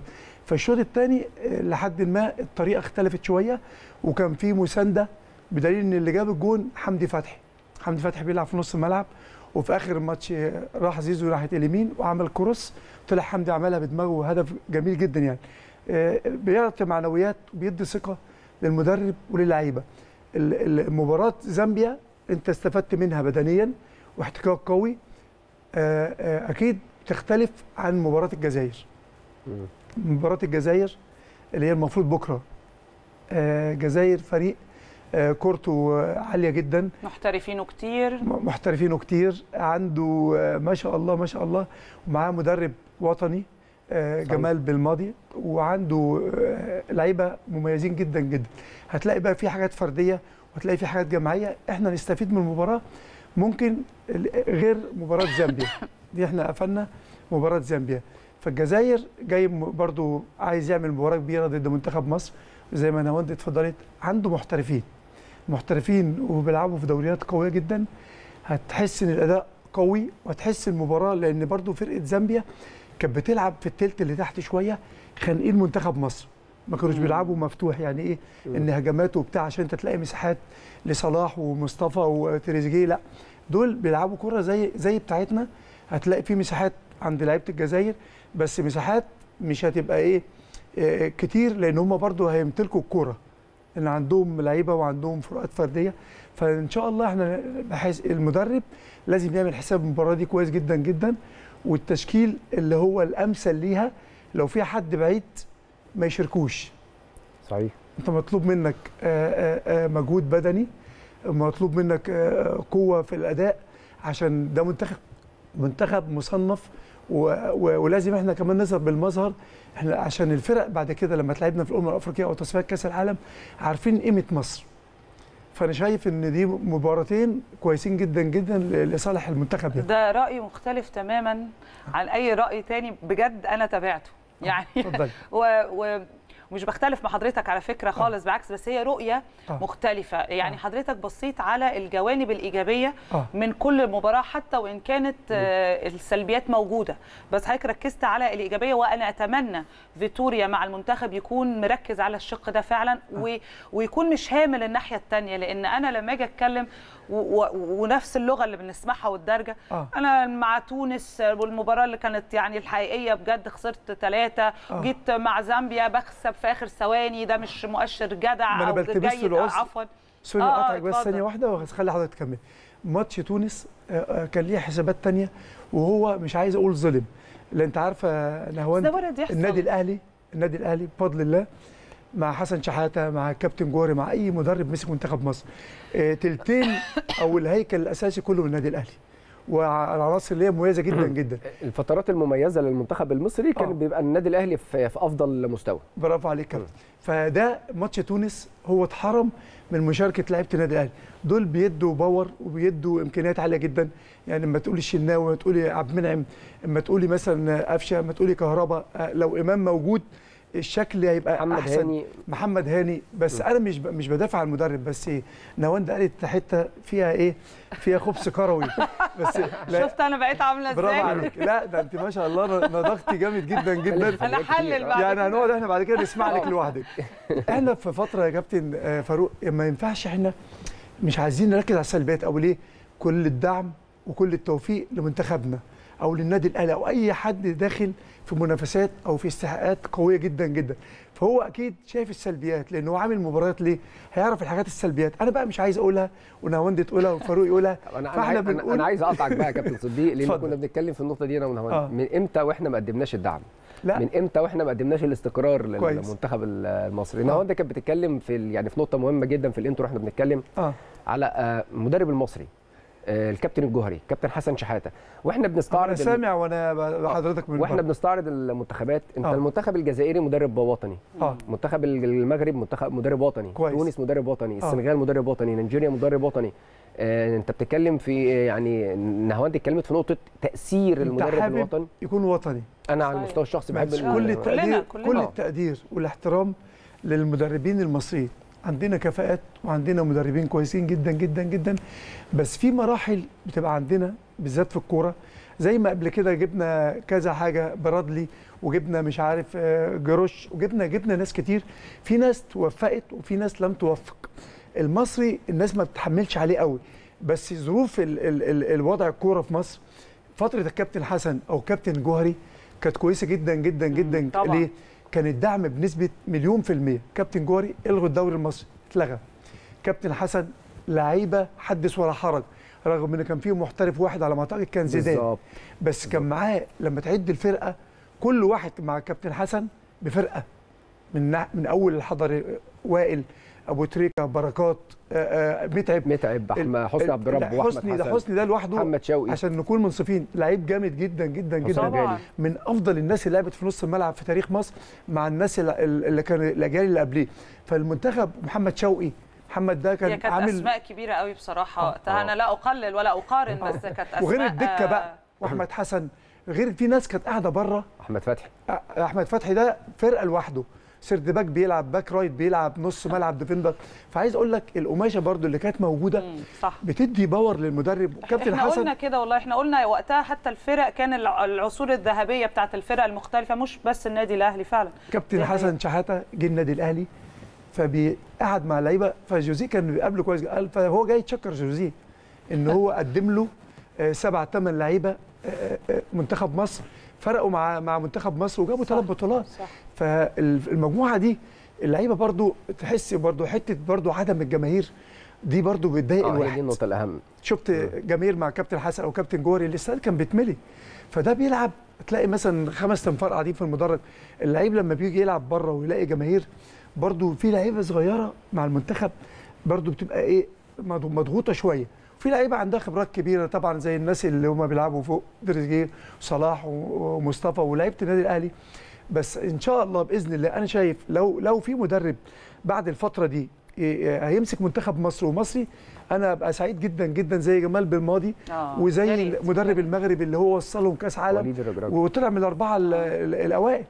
وأعمارهم مش كبيرة راكي تقريبا بداية الأربعينات يعني مش ما- ما هي دي حضرتك 45 سنة الاختيارات 44 بقى هنا.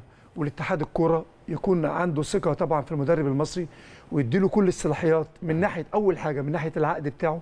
عشان المدرب المصري لما بيجي وبيجي يا عيني تحس إن هو إيه في التعامل يعني بيبصوا له بنظرة وحشة جدا. يبقى واحد مثلا بياخد قد كده بيجي المصري يديله ربعه مثلا. فدي بتقلل منه. ما كابتن حسام بدري مسك منتخب مصر. مظبوط ولا لأ؟ آه، إيهاب جلال مسك منتخب مصر. في ناس كتير. الكابتن أنور سلامة لا مسك هي منتخب تجربة مصر. كابتن إيهاب جلال يعني تجربة آه، يعني مش هقول عليها لم تن- آه، تنجح لكن آه.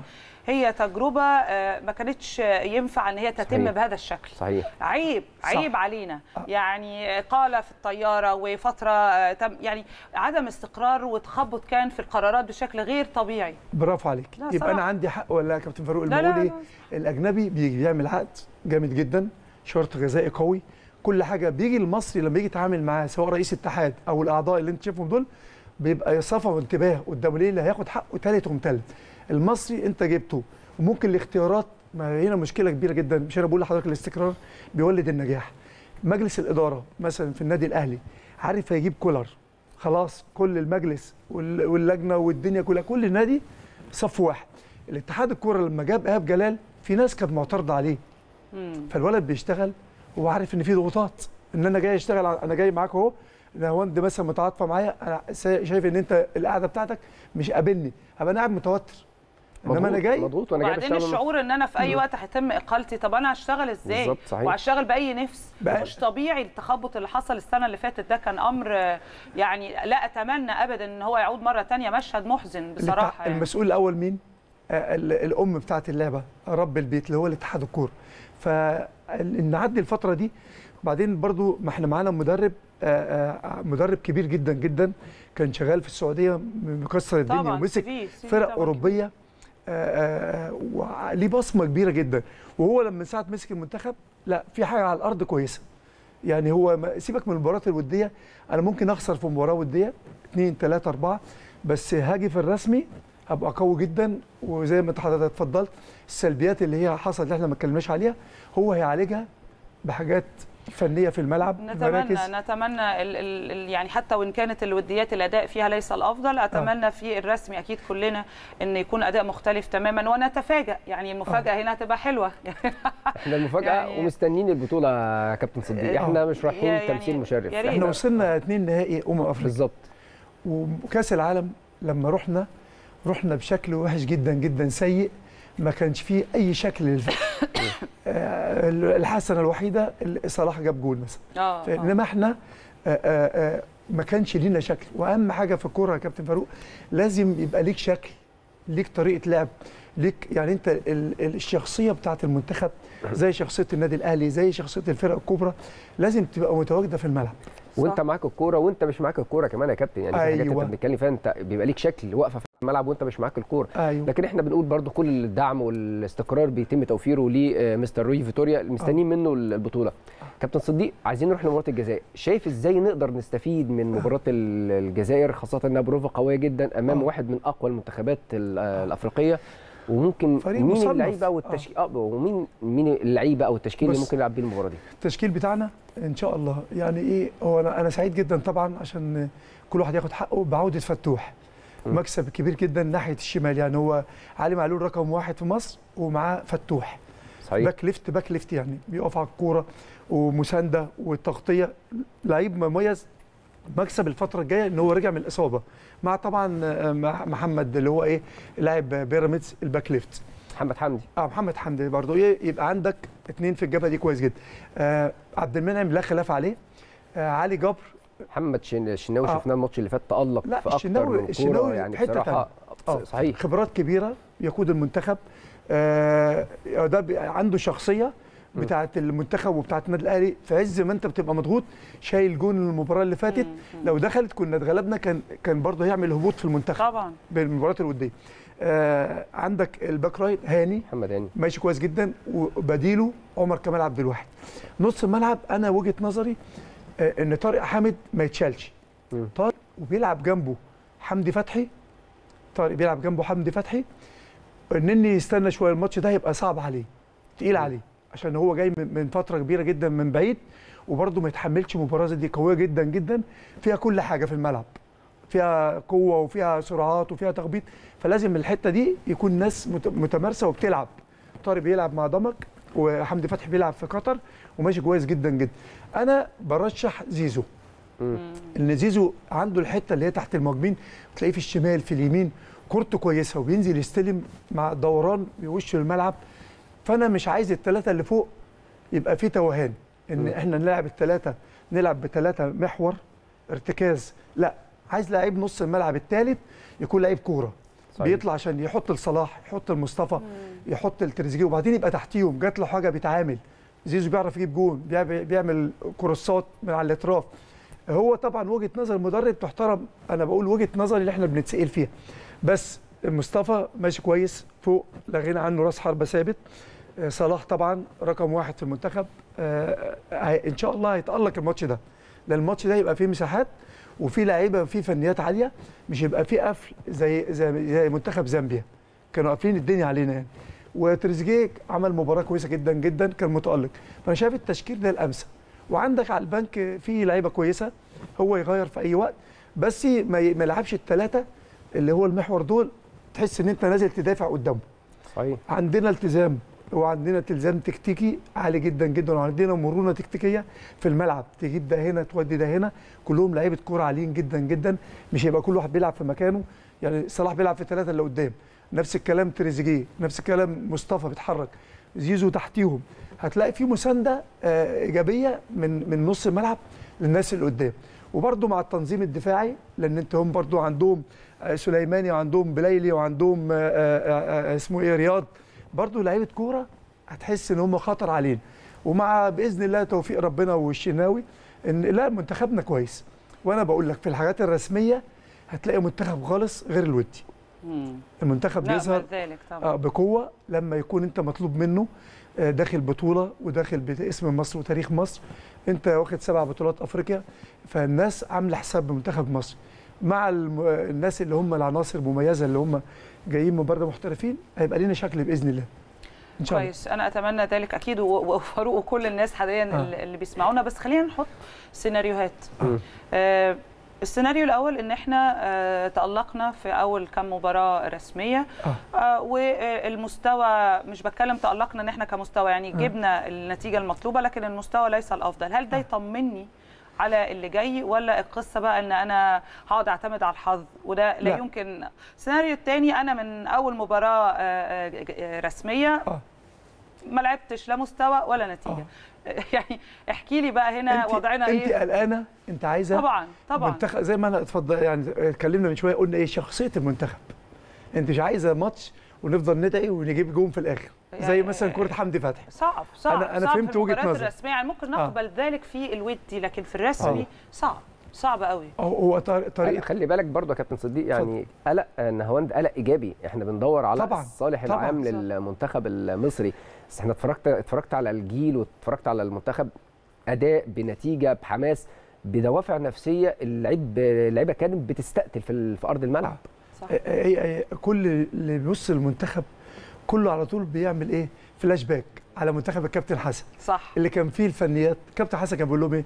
انزلوا متعوا نفسيكم. كل واحد فيكم فرقة وعنده إمكانيات نلعب الكرة الحلوة بتاعتنا بس الوضع مختلف وكان في تجانس أكتر من دلوقتي لأن كلهم زي ما قلت لك كان سبعة ثمانية من النادي الأهلي. حط حسني حط مثلا حد واحد مثلا من الزمالك آه، بس ال ال كان في انسجام آه، آه، غير عادي. والماتشات كانت حلوة كنا بنكسب وبنكسب ب score. أنت بتكسب كوت ديفوار أربعة بتكسب الكاميرون ثلاثة بتكسب الفرق نيجيريا بتكسب. غانا. فاحنا محتاجين النتائج دي مع الأداء. ده ده كلام من هوان مصر كانت وقتها الفترة دي مش هقول بعبع بس كان الماتشات اللي هي مع مصر شوف المنتخبات التانية كانت بتبقى عاملة إزاي. وكان كانت منتخبات مرعبة قوية. مصر زمان في ال... صح وكان في فنيات عالية. فأنا بقول لك إن شاء الله بإذن الله الانسجام آه، قادم بإذن الله الفترة اللي جاية مع الرسمي وهو فيتوريا غير آه، جروش. آه، هو بيلعب برضه كورة لقدام. ما بيدافعش كتير ما بيعتمدش مثلا شوف اللي اتاخد على جروش كان بيلعبنا لعبنا عشان عايز يوصل ضربات الجزاء. عشان عنده الشناوي كويس وعنده آه، آه، كان ساعتها أبو جبل كويس الاثنين كانوا شايلين المنتخب لا الحظ مش هيجي أو التوفيق مش هيجي إلا للمجتهد. لما بقى طريقة اللعب ونلعب بقى لينا شكل هي دي الشخصية اللي إحنا بنتكلم عليها. الشخصيه موجودة هتلاقي أداء كويس هتلاقي فنيات عالية. فأنا شايف آه، بطمن نهواند الفترة الجاية بإذن الله أنا شايف هيبقى في شكل أحسن للمنتخب بالذات في المباريات الرسمية اللي هو وقف على تشكيل اللي إحنا قلنا عليه دوت هو ده أفضل أفضل تشكيل للمنتخب بس ناقص واحد ناقص إمام عاشور. إمام عاشور. إمام عاشور مكان زيزو. كل التقدير والاحترام لزيزو أيوة. لأن إمام موهوب في الحتة دي. لما آه. كان بيلعب في الزمالك أو لما جه النادي الأهلي بس- ليه شكل وبعدين بيعمل لونج باص من ورا رجليه مظبوطة. شوف آه، لما نتطرق للأهلي عمل لبرستاو يعني بيحط له الكورة يروح يجيب جول. صحيح. بالبساط اللي على ال 18 بيعمل اسيست عمل اللعيب اللي هو المغربي الجديد بتاعنا جوه الستة. فهو ده اللي إحنا محتاجين إمام عاشور. فوق وتحت وعنده آه، آه، ثبات انفعالي مع المنتخب زي بقية اللعيبة وبيدافع كويس. لأن الحتة اللي أنا بقول لك عليها دي عشان يطلع ويعمل شغل فوق. برضه في الارتداد عنده تنظيم كويس وبيدافع كويس. فهو إمام اللي ناقص التشكيلة دي. رائع هي صفقة رائعة كانت على كل حال. قبل ما نختم سريعا جدا آه. فاضل التحكيم. آه. سريعا رأيك كابتن صديق في التحكيم. تحكيم عندنا ولا بره؟ لا. أصل بره برضه الدنيا بايظة. يعني خليني أشوف رأيك كمان هل التحكيم هيكون آه، مقلق إلى حد ما برضو مع منتخب مصر ولا الوضع إحنا مش هنحطه في الحسبان حتى لو كان في بعض الأخطاء اللي تسببت في آه، يعني للأسف ضياع بعض الفرص وكمان البطولات خلينا آه. نقول على المستوى كمان انت كده. قصدك على التحكيم الخارجي آه طبعا, طبعاً. بالنسبة للبطوله الاستحقاقات موضوعنا اللي جاية يعني. آه سواء في. تصفيات كأس العالم أو سواء في آه، بطولة الأمم الأفريقية. آه. ال- ال- اللي حصل مع منتخب مصر أيام السنغال صعب جدا يتكرر. صحيح. لأن الناس برضو عندنا في مصر اتحاد والناس المنظومة الإعلامية والرياضية في مصر ضغطنا كتير عليهم وعرفنا الناس إن إحنا اتظلمنا. ظلم يعني كان باين يعني هو اللي كان شكلهم آه يعني ليس كان جايين. علينا. كان برضو تحس إن الدنيا كلها وال- والاتحاد الأفريقي والدنيا كلها كانوا حاطين علينا على أساس إن السنغال تاخد البطولة. لأن لو لو في تحكيم عادل المباراه ما كانتش هتتلعب بالضغوطات اللي حصلت علينا فأنا شايف ال- المنظومة التحكيمية بالنسبة في الأمم الأفريقية أو في التصفيات إن شاء الله مش هيتكرر السيناريوهات اللي مصر اتظلمت فيها. ولازم الاتحاد برضو يتحرك. صح. يبقى في ضغط من عندنا. الاتحاد الأفريقي يعني شفت حضرتك قبل كده ال- ال- الأهلي اتظلم في الوداد وراحت منها بطولة غالية جدا جدا. صحيح. الماتش اللي بعديه لما النادي الأهلي والمجلس والدنيا كلها وضغطنا برضو بقى, بقى في حساب للنادي الأهلي. لما عبد المنعم جاب جون وخد جبنا البطولة من فم الأسد. وجبناها ليه؟ إن في حتة بتاعت اللعيبة بقى.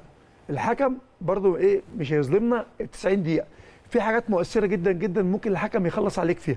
إن يجي كارت أحمر. أو من الأول يروح جاي ضارب إنذار للعيب من عندك يحزمه. يبقى اللعيب اتكتف. أي غلطة ثانية يروح مديله إيه؟ كارت أحمر. اللعيبة عندنا آه، ما شاء الله كلهم آه، ناضجين يعني. هيبقى عاملين حساب في الحتة دي. شينو طبعا بيتكلم معاهم صلاح بيتكلم معاهم. مش هيبقى في أخطاء كتير مش هندي فرصة للحكام إن هم يظلمونا. وأنت في الأول لو أنت زي ما نهاوند قالت المنتخب شخصيته موجودة وبيكسب هتجيب جون هتجيب اتنين يبقى حتى لو ظلمك يبقى أنت مأمن نفسك. هتكسب. فأنا متهيألي إن شاء الله بإذن الله الفترة الجاية مش هيبقى فيها ظلم. إن شاء الله إن نتمنى شاء الله. نتمنى ذلك بإذن الله. آه. نورتنا يا كابتن صديق والله بجد. ربنا يخليك يا نهاوند. أنا كنت سعيد جدا موجود معاك ومع فاروق. ومبسوط نشوفك جدا. تاني يعني. بلاش الغيبة دي. لا إن شاء الله. هم بصراحة كانوا بيكلموني في الإعداد آه أنا بس والله كان عندي حضرتك ظروف كان والله. عندك ظروف. آه. عشان أخويا زي ما قلت طبعا لحضرتك. ربنا يا رب يعينك ربنا. يشفيه يا رب. شرفتنا يا كابتن صديق وإن شاء الله نتقابل خلال الفترة القادمة. وكل الدعم للمنتخب المصري. بكده تنتهي حلقتنا النهارده فقرتنا الثانية مع الكابتن صديق الجمال. انتهت حلقتنا من 10 الصبح في الأهلي. انتظرونا غدا بإذن الله وحلقة جديدة من 10 الصبح في الأهلي.